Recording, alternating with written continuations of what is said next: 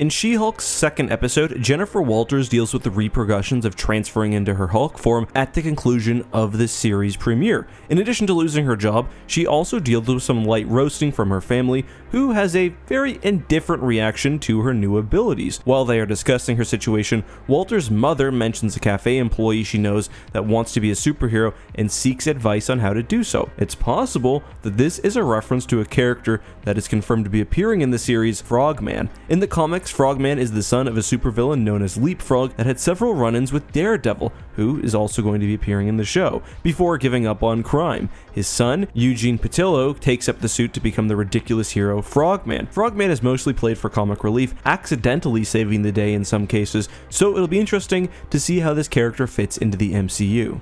For more Marvel lore, She-Hulk breakdowns and more, make sure to subscribe and click on screen for another video.